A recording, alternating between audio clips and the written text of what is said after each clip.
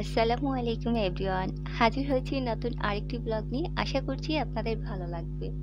যদি ভালো লাগে তাহলে অবশ্যই লাইক দিতে ভুলবেন না। যারা আমার এই ছোট্ট চ্যানেলটা এখনও সাবস্ক্রাইব করেনি প্লিজ করে নেবেন। আর যারা করেছেন, সবাইকে অনেক অনেক ধন্যবাদ।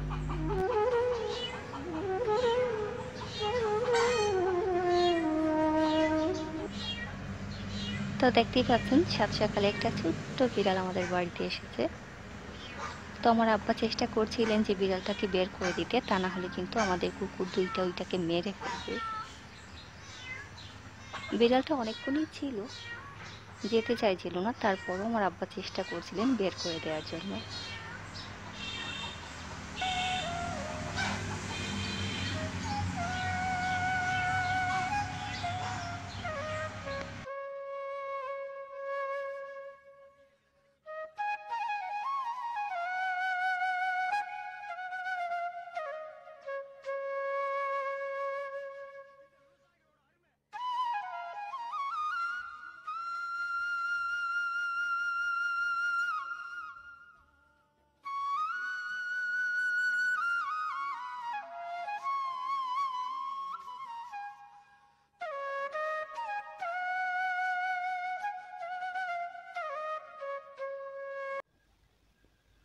তো দেখতেই পাচ্ছেন, এখন আমি আমার বড় ভাইয়ার পেছনে পেছনে যাচ্ছিলাম। যেহেতু ভাইয়া এখন কলা গাছের কলাও আনবেন, আবার কলা গাছের যে আনাজ বা থুর যেটা বলে, ওইটাও কেটে নিয়ে আসবেন।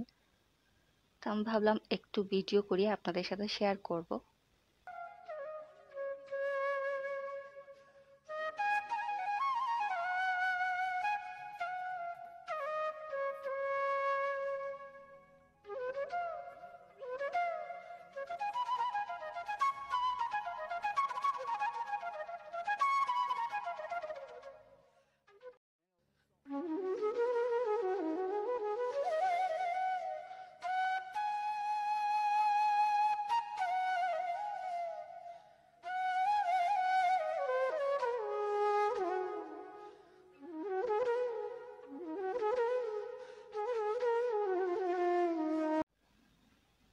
আজ আমি আপনাদের সাথে কাঁচা কলা দিয়ে একটি নাস্তার রেসিপি শেয়ার করব। আশা করছি আপনাদের ভালো লাগবে।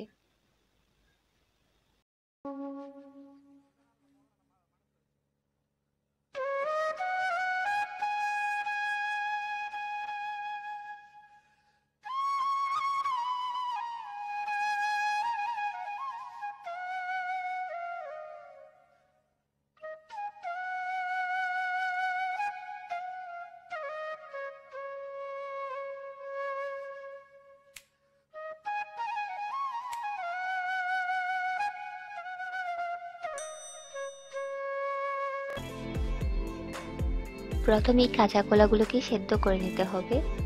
তো দেখতেই পাচ্ছেন, একটা কলাকে আমি দুই টুকরো করে দিয়েছি। সাথে দিয়ে দিচ্ছি অল্প একটু লবণ, এতে করে খুব তাড়াতাড়ি সেদ্ধ হয়ে যাবে। ঢাকনা দিয়ে ঢেকে রাখছি, অপেক্ষা করছি দশ থেকে পনেরো মিনিট। এর মাঝেই কিন্তু কলাটা সেদ্ধ হয়ে যাবে। মাঝে মধ্যে অবশ্যই নাড়াচাড়া করে দিতে হবে।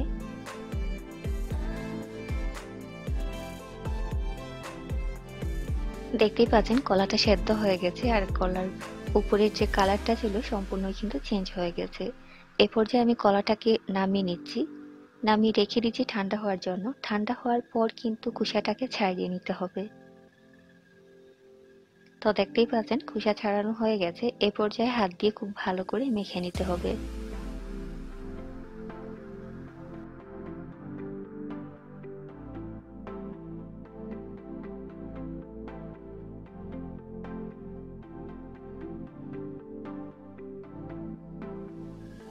এবারে দিয়ে দিচ্ছি গুঁড়ো মশলা। এখানে নিয়েছি হাফ চা চামচ হলুদ গুঁড়া, এক চা চামচ করে লাল মরিচের গুঁড়া, ধনিয়া গুঁড়া, জিরা গুঁড়া এবং স্বাদ মতো লবণ।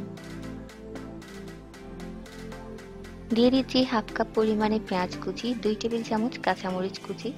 যদি ঝাল খেতে পছন্দ না করেন, তাহলে কমিয়ে দিলেও হবে। এক চা চামচ পরিমাণে লেবুর রস দিয়ে দিচ্ছি পাউরুটি আর পাউরুটিটাকে আমি ব্লান্ডারে গুঁড়ো করে নিয়েছি। এখানে দুই পিস পাউরুটি ছিল। সাথে দিয়ে দিচ্ছি ওয়ান থার্ড কাপ পরিমাণে বেসন। বেসনের পরিবর্তে আটা, ময়দা অথবা চালের গুঁড়ি যে কোনো কিছু দেওয়া যাবে, কোনো সমস্যা নেই। এবারে দিয়ে দিচ্ছি একটা ডিম। ডিম দেওয়া হয়ে গেলে খুব ভালো করে মেখে নিতে হবে।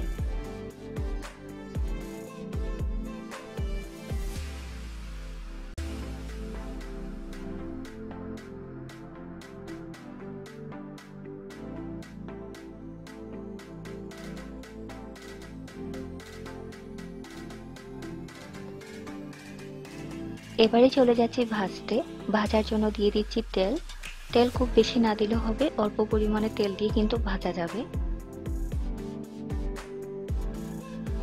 চুলার আঁচটা মিডিয়ামে করে ভেজে নিতে হবে। আমি এখানে গুল গুল করে দিয়েছি, আপনারা আপনাদের পছন্দ মতো যে কোনো সাইজ করে দিতে পারেন, কোনো সমস্যা নেই।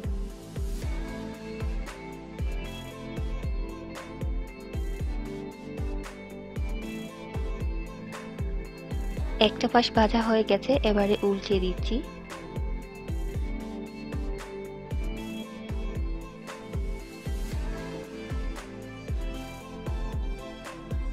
দেখতেই পাচ্ছেন, ভাজা হয়ে গেছে, এ পর্যায়ে নামিয়ে নিচ্ছি। আশা করছি আজকের এই সহজ রেসিপিটা আপনাদের ভালো লেগেছে। খেতে কিন্তু অনেক মজার। যারা কখনো তৈরি করেননি, একবার হলেও তৈরি করবেন। সবাই ভালো থাকুন, সুস্থ থাকুন, আল্লাহ হাফিজ।